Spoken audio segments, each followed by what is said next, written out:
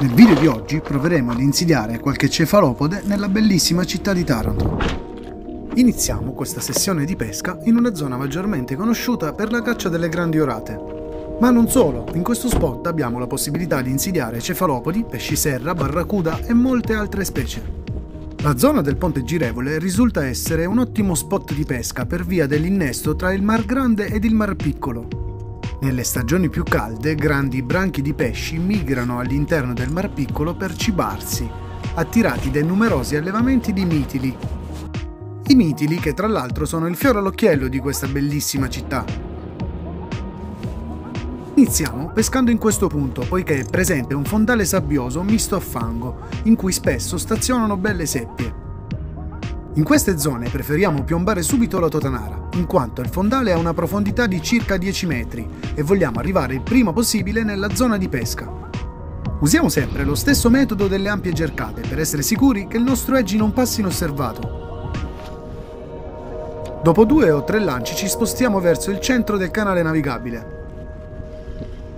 In questa zona è difficile pescare ad edging senza perdere le totanare, in quanto si possono verificare numerosi incagli.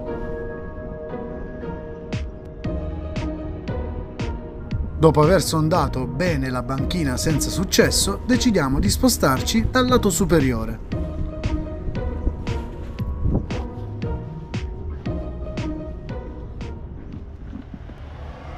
Ci fermiamo dalla parte del lungomare per poi raggiungere a piedi lo spot interessato.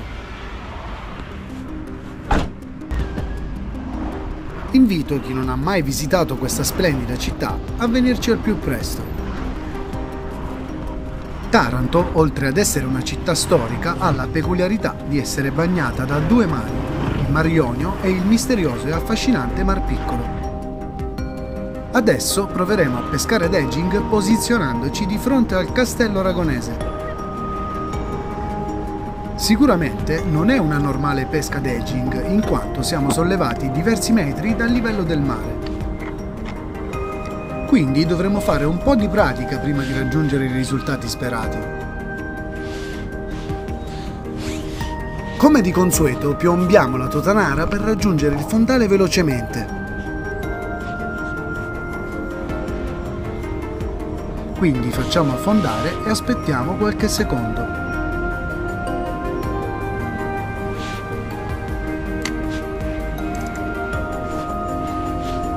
Per effettuare questo tipo di pesca il nostro consiglio è di usare una canna non proprio light, in quanto dovrà sostenere il peso dell'eggi, del piombo e di un'eventuale preda a peso morto.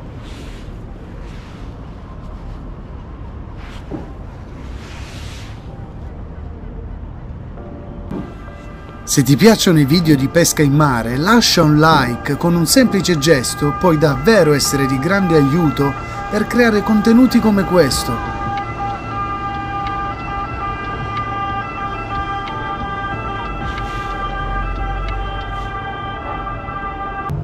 Nel recuperare dobbiamo essere decisi, altrimenti rischiamo di incagliare data l'altezza e la poca comodità.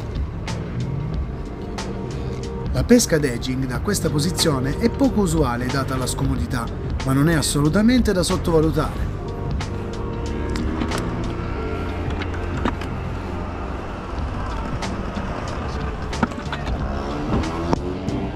Spostiamo di qualche metro e proviamo ancora.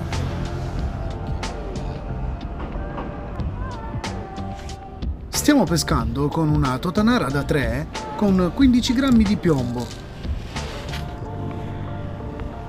Se ne abbiamo la possibilità usiamo anche qui un'esca economica per via del fondale difficile e delle forti correnti laterali. Proviamo ancora senza scoraggiarci, anche se in questa zona, se sono presenti cefalopodi, non esitano ad attaccare. Resta con noi fino alla fine per scoprire quello che è successo.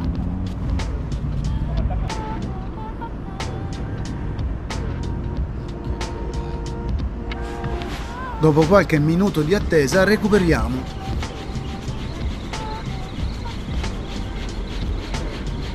Quando siamo in prossimità della banchina facciamo compiere un saltello alla totanara per poterla recuperare correttamente.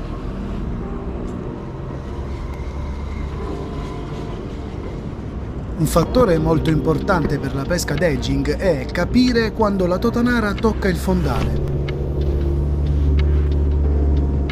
Perché è proprio in quel momento che il nostro edgy entra realmente in pesca. Più aumenta la profondità del fondale e maggiore è la difficoltà nel percepire che il nostro edgy sia appoggiato sul fondo In questo caso, essendo diversi metri sollevati dal livello del mare, ci aiuteremo osservando la lenza in bando dopo aver lanciato. Quando la nostra esca toccherà il fondale, vedremo la lenza in bando cambiare direzione spostata dal vento.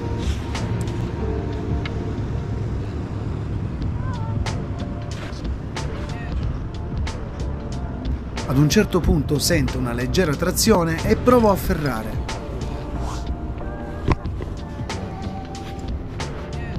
In un primo momento penso ad un polpo, ma purtroppo era solo un incaglio. Fortunatamente, per merito della nostra montatura, rimediamo spezzando solo il piombetto a perdere. Vuoi imparare a pescare i cefalopodi senza farli soffrire? Guarda il video qua in alto. Proviamo ad insistere con qualche altro lancio, ma purtroppo come i precedenti non riscontriamo successo. Ma dato che la nostra regola è non mollare mai finché non si ottiene il risultato sperato, decidiamo di ritornare sul medesimo spot nelle ore buie.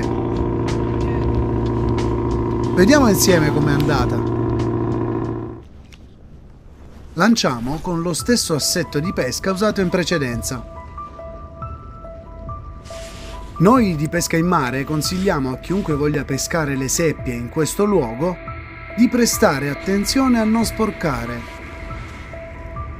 aiutando così a preservare la bellezza di questa città.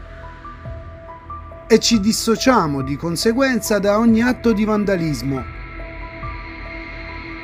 Dopo qualche istante sentiamo un attacco di un cefalopode e diamo una buona ferrata, con la speranza di portare la preda al sicuro. Adesso l'ultima difficoltà è scavalcare la banchina e lo facciamo con la massima delicatezza affinché non si stacchi. Ci mettiamo un po' data la lunga distanza, ma alla fine eccola qui la nostra seppia. Se ti è piaciuta questa avventura, iscriviti al canale e attiva la campanella per ricevere le news su tutti i contenuti. Ci vediamo presto su Pesca in Mare.